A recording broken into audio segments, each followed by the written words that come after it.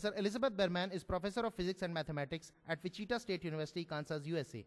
She obtained her bachelor's degree in mathematics in 1979 from Brown University and master's degree in chemistry in 1981 from University of Illinois at Urbana-Champaign. She obtained her PhD in chemical physics from University of Illinois at Urbana-Champaign in 1985. She worked as a graduate research and training assistant at University of Illinois at Urbana-Champaign from 1979 to 85 and as a postdoctoral research associate at State University of New York at Stony Brook from 1985 to 86.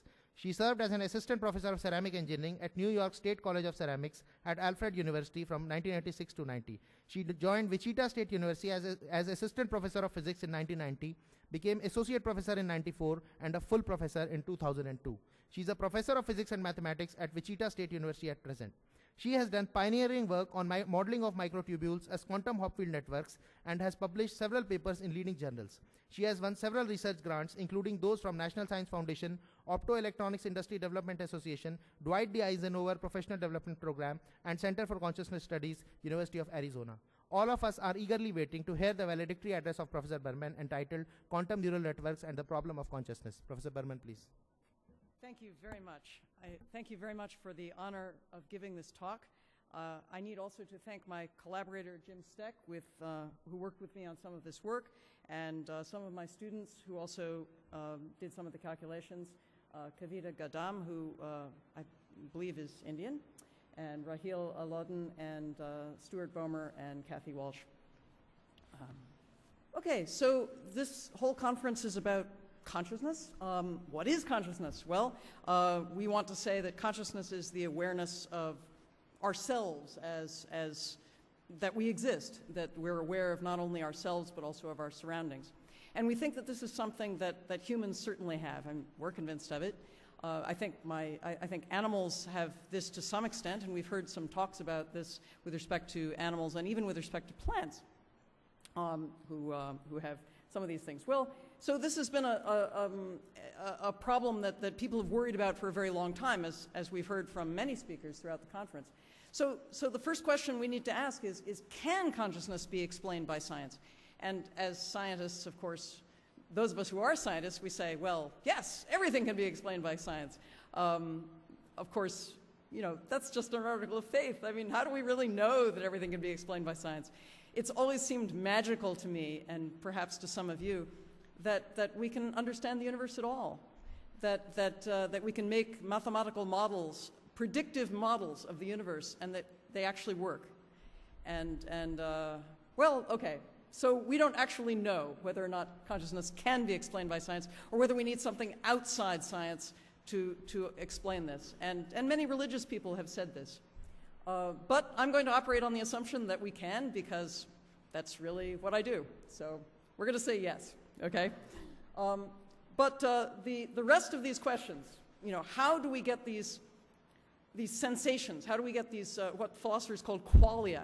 How do you get qualia out of the physical workings of the brain. That seems like a, a, a leap, okay? Uh, what physical mechanisms are responsible for these things? Um, and, and most of all, perhaps to me anyway, on, on what scale or scales is or are the relevant physics? I mean, what's going on? So the rest of these things are, are really quite a puzzle. Uh, the systems that we need to investigate are, are complex and they involve skills and knowledge uh, maybe that we don't even have yet, but certainly that involve all of the disciplines we see represented here today. And, and this is why an organization or a center like the Center for Consciousness Studies is, is such an exciting thing that, that we've inaugurated here at this workshop, is that we bring together all these different, different uh, um, experts in, in all these different fields. Well, I'm not an expert in most of your fields. In fact, I know almost nothing about most of your fields. And, and so today I'm going to talk to you about my own take on this particular subject, which is that of a theoretical or computational or mathematical physicist, and I hope you will all find it informing and interesting. Um, the first half will be pedagogic, okay? So even those of you who are not theoretical physicists, I hope will get something of a flavor of what it is that, that uh, that my research means and one particular, as I say, one particular take on this subject. Those of you who are experts in one or more of my fields, because I kind of span a couple of fields myself, uh, I promise that that even though you might, may find the first part a little dull, although I'll try to liven it up, I, if, you'll find some new results that have not even been published yet if you'll just hang on for the second half. Okay, so I'm going to begin by talking about neural networks, okay? Um, what are neural networks? Okay, well, neural networks are a different architecture for computing. Uh, other, I mean, different from the, the machine that I see in front of me. Well, all right, this is a, an algorithmic computer. This, is, this has an extremely complex central processing unit. Yeah, I mean, we all know this, right? Well, a neural network, uh, both artificial and, and uh, natural, is organized on a different principle. Instead of one very complicated central processing unit, several people know this stuff, but instead of this, we have many, many very simple processing units that are multiply interconnected, okay? So this is a, just a schematic of one possible uh, neural network. This is a feed-forward neural network for those of you who are interested in these things. Um, and, and though the algorithmic computer is ubiquitous, um, I, mean, obviously it's ubiquitous, and, and though it's been extremely successful at doing huge numbers of, of things in our modern society um, with enormous numbers of applications, uh, the, uh, the neural net network architecture is also hugely successful um, with no algorithm needed, and I'm going to point out why that's kind of important later on. The, rather, the, the architecture constructs its own algorithm. Okay, so how does this happen? Well, it does this through something that the neural network community calls learning. And we call it learning because it's very much like what we ourselves do. So what happens? Okay, so here on the bottom, here we are. Here on the bottom, we, we have uh, the input layer. Here on the top, we have the output layer. So how does learning take place? Well, we, we initialize the input layer, layer in some sort of input state okay? And then that information propagates through these multiple interconnections, through many perhaps hidden layers here, into the output state, and that's where the output is read, okay? So, so um, even though each of these neurons, we call them neurons in, in analogy with the things in our own brains, even though each of these neurons may have only a very simple processor, uh, and, and the simplest one, of course, is the one in which each neuron sums up all the inputs that are fed into it with some kind of a weighting function, then decides whether or not to fire, whether or not to, to turn itself on and send a signal uh, uh, outwards. So that, that, that's a, it's an extremely simple kind of processor. And yet, these kinds of networks are capable of doing very complex calculations, complex calculations that, are, that we don't know how to program an algorithmic computer to do and this is why uh, they're so important. Well, that and the fact that they're analogous to our own brains. So we, how does the learning take place? Well, we initialize the input layer to each of a number of inputs. We then read the output, and it may not be the answer that we want. So we change the weights whereby each of the inputs is weighted and before it goes on to the next layer. We change them in such a way as to decrease the error. And there are, there are um, um, there are systematic ways of doing this so that we're not just changing the error at random, but actually in a direction that will minimize the error. This is called steepest descent for those of you who are familiar with that idea. Anyway, after a number of passes through the, the set, which are, which are in other words, we, we you know, initialize it in the first set, we pass it through, we get an error, we change the weights, the second set, the third set, and so on. So after a number of passes through the training set, we have uh, the set of weights here in the final state, and we say, okay, this network is now trained to do whatever it was that we wanted it to do. So what might we want it to do? Well, for example, for decades now, uh, the phone company, and that used to be a singular term, at least in the United States, it just meant AT&T, has used neural networks for noise reduction. And when you think about it, it's actually a kind of a complicated and difficult problem. How do you decide what part of the signal is noise? And what part is your grandmother's voice that you very much want to hear. So how do you, how do you uh, decide this? And it's very easy for our brains to do this, or relatively easy. I mean, we, we, can, we can filter out the noise in a crowded room and we can just concentrate on the one person that we're talking to. But that turns out to be a very difficult problem for an algorithmic computer. Another possibility or another, another example, uh, the Navy uses neural networks for sonar object recognition. Again, this is, this is very much so as to mimic the biological system. What biological system? Well, of course, you all know probably that dolphins do this, okay? Dolphins send out uh, signals I'm not exactly sure how, but they send out signals, and the signals, uh, the sonar signals bounce back, and the dolphins read them somehow. And I'm at sea with this biologically, but I'm sure the biologists in the audience know exactly what I'm talking about. And somehow they interpret these signals, and they just they decide whether that object is a uh, a piece of food or a human being or a log or whatever the heck it is. So the Navy uses artificial neural networks to mimic what it is that dolphins do. Um, this is kind of a, a gruesome uh, picture here, but uh, aircraft stability control, as aircraft have gotten more and more complicated, uh, the and, the, and the number and variety of the control surfaces have, have multiplied, um, it's become more and more a task for computers to, guard, to guide uh, aircraft, as you know. Well, what if, um, God forbid, uh, something should happen to your control surfaces, as happened in this, in this picture here? Uh, this is a, an aircraft wing that got hit by a missile, but it, was, it took some very clever piloting on the parts of the pilots, and it would be nice, and this is not yet, this is, this is not a, an in-place system, but it would be nice if we had an in-place system that could, that could control the aircraft in the, in the event of, of such a, a situation. Um, then there's voice recognition. I mean, how do you know who, is it, who it is on the phone? You can't see this person.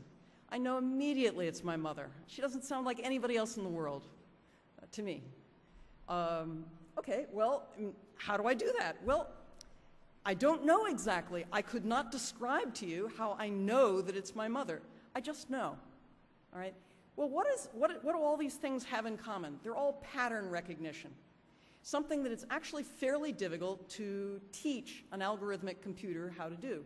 How does an algorithmic computer know that the person walking down the street uh, um, uh, 100 yards away from you, 100 meters away from you, how does an algorithmic computer know who that is? Well, it could do pixel by pixel comparison, but what if the person is wearing a suit of clothes you've never seen before? What if they've changed their haircut or even colored their hair or something of that nature? Well, the algorithmic computer would compare pixel by pixel and say, ah, we don't know this person. But I recognize immediately that it's my sister or whatever it is, okay? Why? How do I know that? It's the way she walks, it's, it's just something about her, and I know instantly. Yeah? I mean, you all know this, right? So all of these are examples of pattern recognition, and this is really what we mean by the intuition that we were hearing about in earlier talks. What is intuition but pattern recognition? Okay? It's, maybe that's just another name for something that we already don't know what it is, but it turns out that artificial neural networks, which we construct, we human beings construct, are actually very good at pattern recognition. And, and we think that the power of the artificial neural network comes from the multiple interconnectivity of, of, the, of the processing units. Okay, that's where the complexity comes from. So the question is, for us today and perhaps for decades to come, is consciousness a neural phenomenon? Okay, we've heard many times today, is consciousness a quantum mechanical phenomenon? And we're going to talk about that too, okay? But is it a neural phenomenon? Okay? This is something that I want to answer as well. Okay, so your brain, possibly, okay? Well, your brain definitely, okay? Your brain is obviously a neural network. For one thing, you can see by these cartoons that it's a neural network, okay? A cartoon makes it something clear as nothing else does. Here are neurons and they're multiply interconnected. Doesn't that look like a neural network, not a, not a multiple uh, central processing unit? Of course it does which is, of course, the inspiration for artificial neural networks and why we built them in the first place. Okay, so, um, so clearly it's a neural network, and we know that because of the architecture. We know that because, because the way people are programmed. I mean, we don't just have a programming tape that we insert into a child's brain. I mean, this is not the way learning happens the way learning happens is by, by the same process that I was describing earlier with the artificial neural network. I mean, we all know this, right? How do you know how to ride a bicycle? Well, you know how to ride a bicycle because you ran it through your neural network multiple times until you got it. Yes? Yeah, we all know this. Okay. So clearly the brain is a neural network. So um, we know this from the architecture, we know this from the programming. We also know this from, from the fact that the connectivity is plastic. And many people in the audience probably know this a lot better than I do. But, but of course, we all know that, that, that uh, the, connect, the connections between the, the neurons in the brain are not, are not completely hardwired at birth, okay? They're plastic. And in fact, if a baby does not hear certain sounds within a very short time after it's born, it will never be able to distinguish these sounds later on in life, which is, which is why, um, well, I, I don't know very much, much about linguistics, and I'm sure people in the audience know a lot more than I do. But, but uh, if certain connections are not reinforced immediately, they become lost. They, they, they are not there, they're not able to be plasticized or remade or whatever. There are other connections that remain plastic throughout life, which is a good thing because otherwise we couldn't learn anything, okay? And we're all learning so much at this conference, okay? So great, great stuff. So is, is, uh, is consciousness a result of this plasticity, okay? So this is, remains a, a question. Second question, is consciousness quantum mechanical, okay? And here we have uh, the famous Rodin statue, uh, which of course most of you know. And uh, th for those of you who don't know, uh, the thinker is thinking about uh, the Schrodinger equation. Okay, so is consciousness quantum mechanical? All right, this is something that, although we're doing a lot of work on it here in this, in this room, people here, and people around the world, uh, something we still don't know what the answer. And, and we have to say, well, of course, the interactions at a small enough length scale are, are, are quantum mechanical, subneuronic the electrical and chemical synapses of these, of course they're quantum mechanical. The whole world is quantum mechanical. I mean, all the universe, as, as far as we know, is quantum mechanical. And we have got, we've got piles of evidence that the universe is quantum mechanical. I would be, I would be extremely surprised if we found out that quantum mechanics was wrong.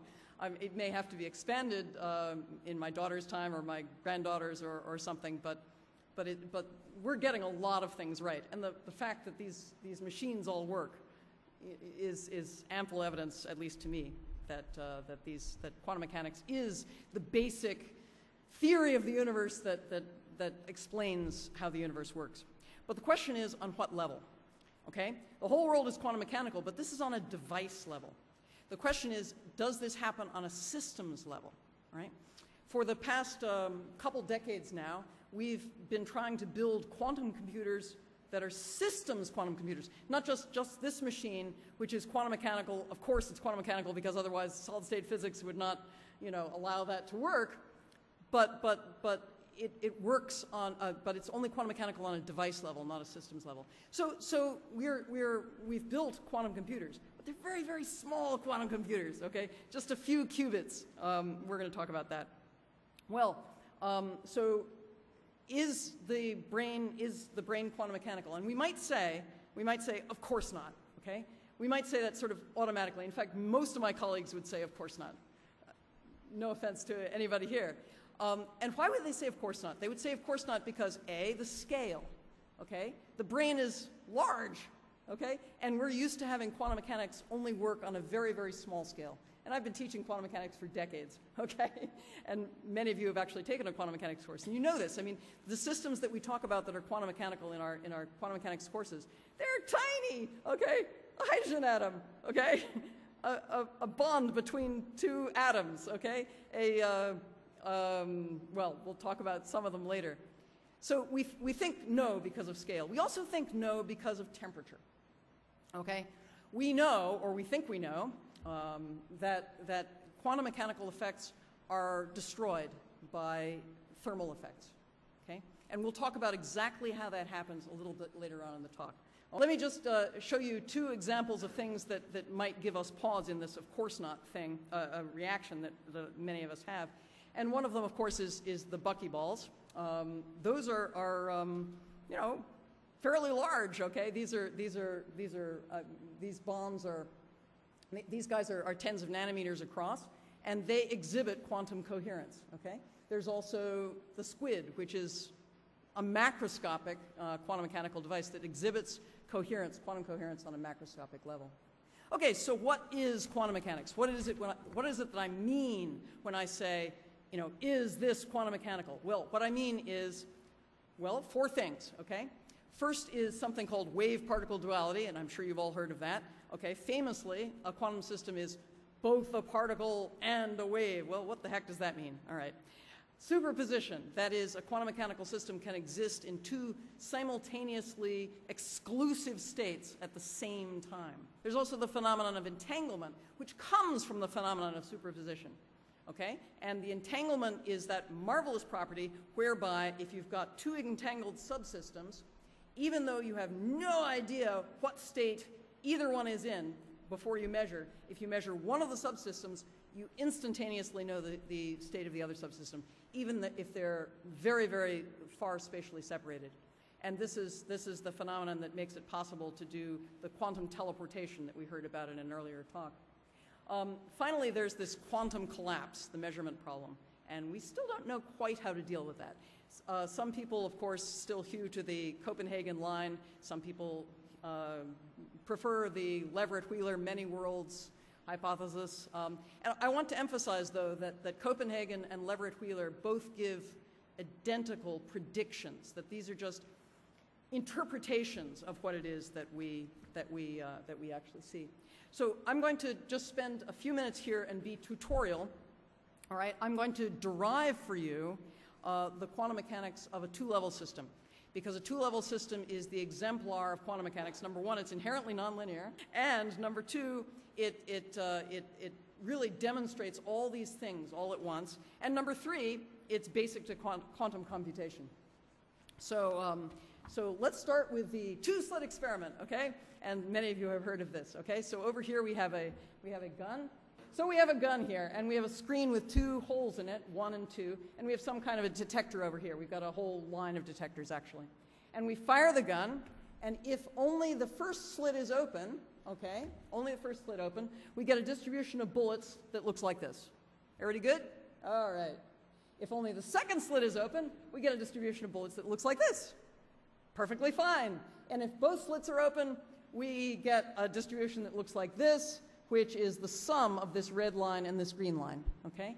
And what that is, is additive probabilities for exclusive events. And this is Laplace, okay? This is standard probability theory that we all know and love. Okay, there we are. Okay, yeah, I just wanted to point out that that's what I have over here. Okay, so we've got P1 if 1 is open, P2 if 2 is open, and P1, 2 is just the additive sum. Okay, so what if we do the exact same experiment with water? Well, you all know this, right? Suppose we have a tank of water and we've got two holes in a screen. This is three-dimensional, so we're looking down on this, okay? And we drop a stone or something, and it makes little ripples that go outwards. And if we only open the one thing, we get the red line. If we open only the two thing, we get the green line. But if we open both of them, we get interference. Why do we get interference? All right, the reason we get interference is that the up and down uh, amplitudes from 1 and 2 interfere with each other. So we've got negatives as well as positives coming out of number 1 and out of number 2. Okay, so we, we write that mathematically like this. So the intensity is the absolute mag the intensity we observe over here at the screen is the absolute magnitude of something we call the wave function, okay? Because these are waves, right? Okay. And if we open only one, we get uh, psi 1, uh, excuse me, phi 1 absolute magnitude squared, psi 2 absolute magnitude squared. But if we open both of them, we add them together before we square the absolute magnitude. And that's where the interference comes from mathematically. Okay, so what if we do this with electrons? Okay, this is an electron gun, but this is, this is a schematic of an electron gun. So we have a piece of metal and we heat it up. That's what the fire is, okay? And the electrons boil off the metal, okay? They come out. Those, for those of you who are physicists, those, uh, those blue lines are not electric field lines. Those are the paths of the electrons. Anyway, so this is an electron gun, and we, we put a little, um, uh, uh, an, another, another screen with a, with a little round hole in it, and you can see that the, electron, the electrons then just come out the little hole. Well, that's beautiful. So this, of course, is a cathode ray tube, okay? So here's the electron gun over here. Everybody knows what a cathode ray tube is, right? It's a TV. Yeah, okay. It's the kind I have at home. I don't have one of these fancy, fancy things. anyway, so we put a two-slit uh, uh, screen in, an, in, a, in, a, in a TV, and then we measure the, the, with a phosphorescent screen or something, something that happens over there. So what happens? we get interference. All right? So, why do we get interference? Don't we think that electrons are sort of like bullets? That is, they're particles. That is, an electron must either go through hole one or through hole two. Right? Because electrons are particles. You, you either have an electron or no electron. You don't have half an electron. This never occurs, right? So, so why does this happen? Um, well, um, we, we might want to say, okay, let's check let's see if they, if they, we look at the electrons one at a time, we reduce the flux. And if we reduce the flux, we still get interference effects. In other words, the electrons are not interfering with each other, they're interfering with themselves. Okay, in other words, they obey this same mathematics. Okay, um, okay, you can actually look for the electrons.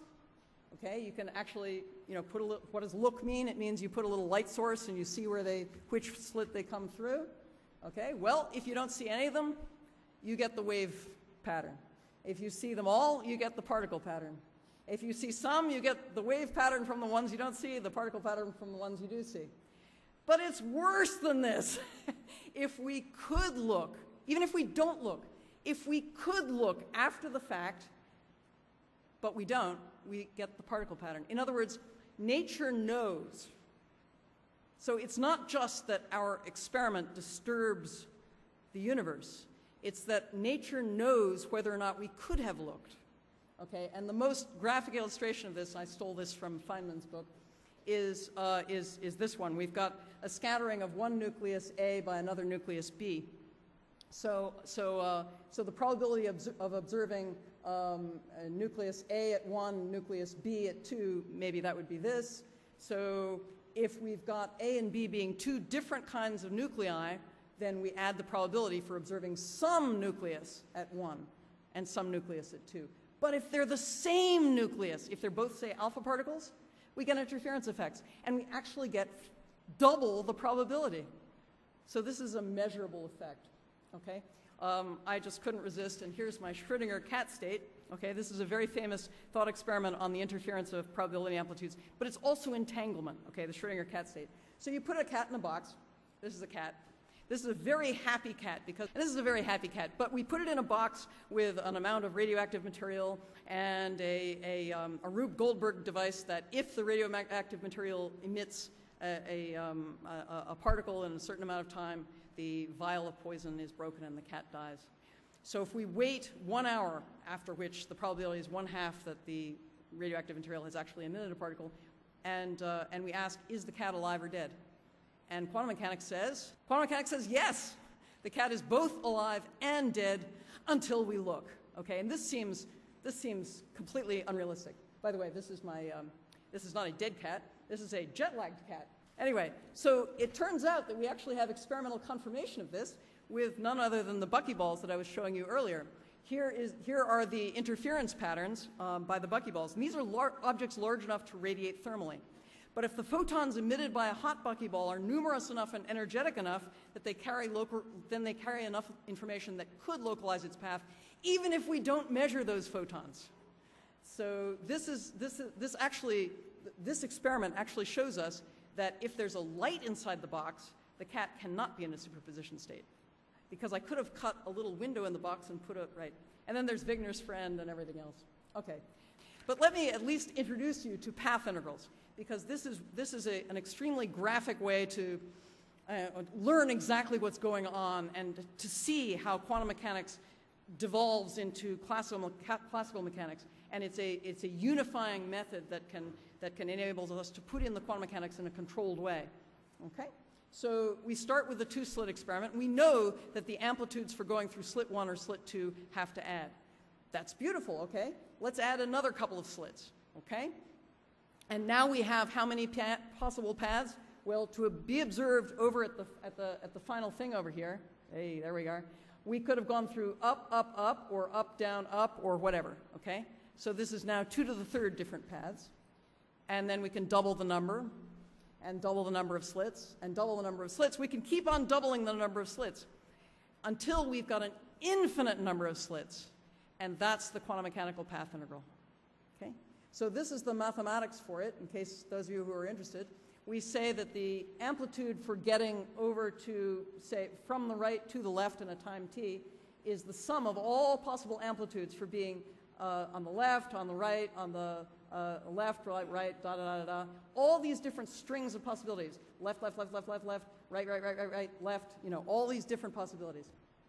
And we can actually write those as amplitudes, which I'm calling k here, for going in the short time, t over n. So I'm writing this as a, as a product of the amplitudes for, for going from, the, from one place to the other. Um, we can then write an approximate um, uh, expression for what this amplitude k has to be if the time t over n is small enough, of course it can't go anywhere. So we just get the identity matrix. If the time t over n is just a little bit uh, larger than that, then we can do a first order term in, in, uh, in delta t, and this, of course, turns out to be the Hamiltonian. And uh, this is the expression for the path integral here. This is in the limit of infinite number of slits. Okay, uh, those of you interested, you can also derive the Schrodinger equation using this. Suppose you have somehow got the amplitude for uh, at, at, time t, well then uh, this K matrix here propagates you forward from time t to time t plus delta t. Uh, you can just rearrange this and you recover the Schrodinger equation. You can also recover classical mechanics. How do you recover classical mechanics? Well, the idea with classical mechanics is, of course, as you all know, because you've all done, I'm sure, uh, basic classical mechanics, that given initial conditions, given initial position and momentum of all the particles, you know exactly what's going to happen with the system. This is the trajectory. We all learn in freshman physics how to compute the trajectory given initial conditions. So in the classical limit, this infinity of paths shrinks down to a single path. In the semi-classical limit, you have this, this semi-classical width of paths on the order of h bar. This actually is where quantum dispersion comes from, okay? So we can see now exactly what quantum mechanics is. Quantum mechanics is the including of an infinite number of other possibilities for how to get from one measurement to the next measurement. And we can include these in our calculations in a systematic way. How do we apply this to temperature, though? I mean, we've, we've heard about this. Okay, so the way we, the, the, the connection is the same operator, e to the garbage h, where h is the Hamiltonian. You, you remember from previous slide, that um, uh, you remember from the previous slide that this was the this was the operator e to the iht that propagated us forward in time. Well, if we if we know a little statistical mechanics, we know that that the operator that tells us how a system selects out any uh, one of any number of different energy states is with a Boltzmann operator that looks like e to the minus beta h where here beta is now the, um, the inverse temperature in units of Boltzmann's constant. So beta is, is, if you like, an imaginary time, and we've also heard about this. So we can write something called the, the, we can write something called the partition function as the trace of this operator e to the minus beta h. And the trace, of course, is the sum over the diagonal states. So for example, in the x basis, that looks like this. And now we can just insert complete sets of states if we write that like this. And now this looks exactly like the quantum mechanical uh, path integral that we saw earlier, except the time is imaginary.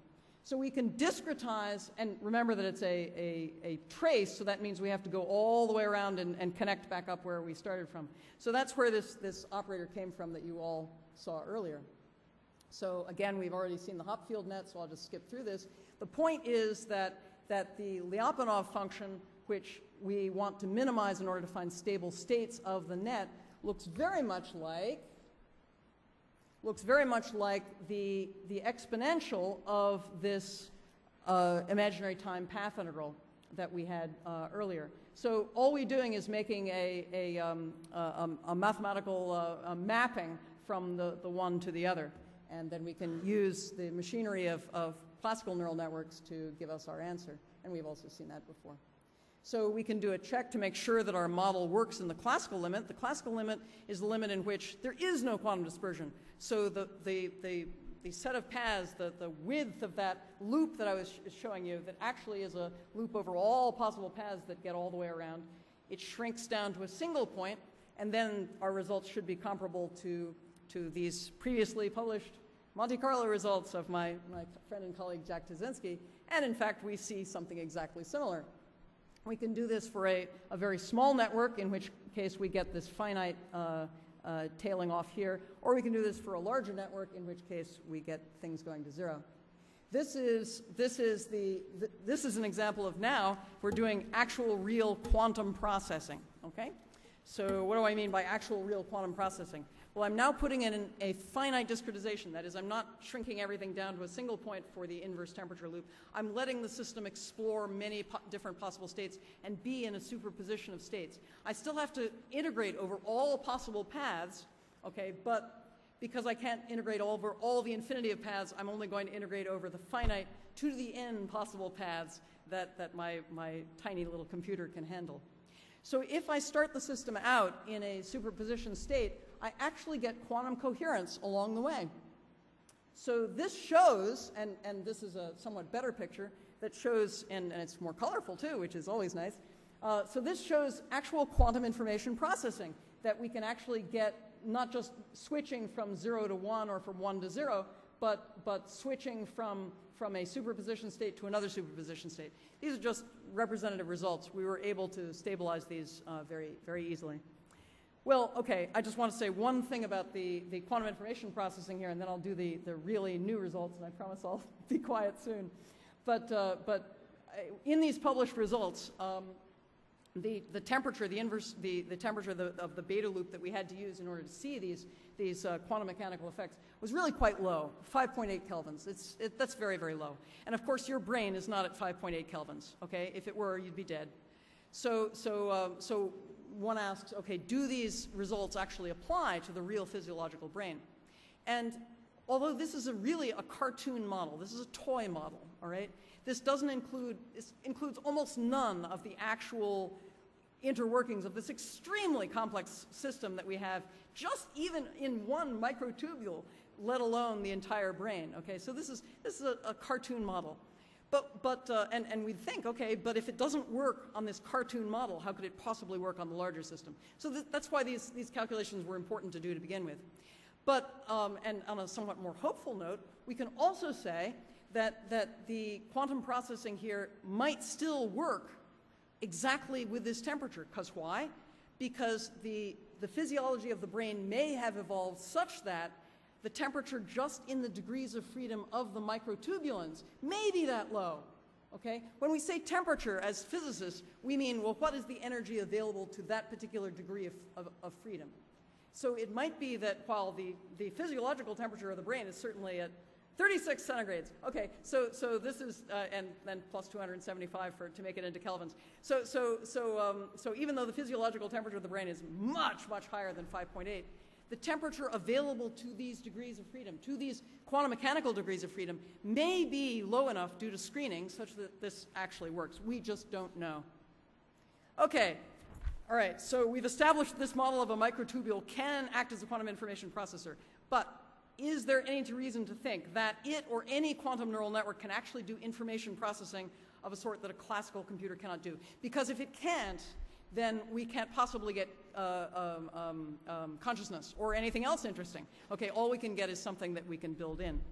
And that's the most exciting thing. And I, but these are my newest results, and I find them very exciting. I just want to share them with you if you'll, if you'll be patient for a little while longer. And that's entanglement calculation. A, a classical computer could never calculate the degree of its own entanglement because it has no entanglement, okay? A classical computer cannot possibly be entangled with anything, okay? Class, uh, entanglement is a purely quantum mechanical phenomenon.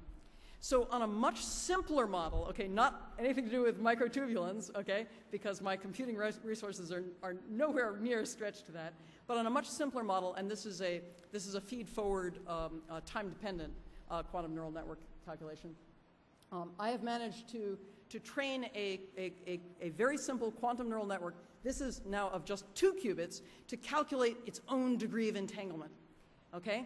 And by calculate, I mean I don't just I didn't just train it to one state and and and and just let it let it go and say that that's that's trained. No, no, no. I trained it to a what neural network people call a training set, and then I tested it on a huge number of other other states that it hadn't seen before. And uh, these are these are some results for the two-qubit system. Okay.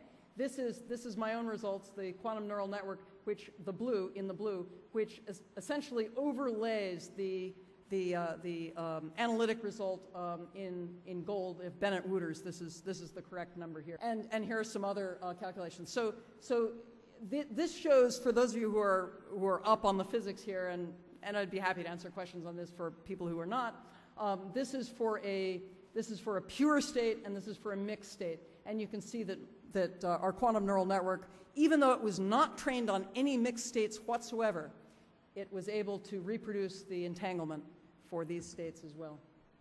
Okay, well, that's two qubits. how many qubits can you do? All right, so here is some three qubit stuff that is shortly to be published. And, and uh, again, we have some um, uh, analytic results for something called the three tangle. The, uh, the purple here is the analytic results, and the green is mine. Okay, and you can see again that that, that tracks extremely well. Um, and, uh, and here we have a, uh, a five qubit system, okay? And uh, for those that we have no analytic results, okay? So, so I'm able to do even up to five qubits. And the really cool thing, guys, and I promise this is my last results slide for those of you who are falling asleep, the really cool thing is the power of interconnectivity, okay? So, um, so I, just, I just have to show you this. Okay, as you go, as you go in stage, and I can explain what, what the stages are, uh, making the system larger and larger, this is the amount of, of, of, this shows symbolically the amount of training that is needed actually goes down the larger you make the system. So, so uh, starting out here at the first stage, which was just the two qubit system, we got a huge change from, from an untrained to the trained system. But then as we made the system larger and larger and larger, the amount of, of change in the parameters of the system actually decreased, which shows you graphically the power of the interconnectivity. The larger you make the neural network, the less training you have to do. Isn't that cool? Okay, well, in conclusions, all right, quantum neural networks can do information processing that neither an algorithmic computer nor a classical neural network can do. Why not a classical neural net? Because a classical neural net can't possibly calculate entanglement. It doesn't know from entanglement. Okay. Why not an algorithmic computer? Because we don't have algorithms to calculate the entanglement of a five qubit system. But my neural network can do it. Okay. Does that mean that it can that a, a, a quantum neural network can do consciousness? Well, I don't know. Okay. But it can do things that a classical computer can't do, and it can learn things that an algorithmic computer can't do. So the brain may well be a quantum neural network. We need to do a lot more work. so thank you.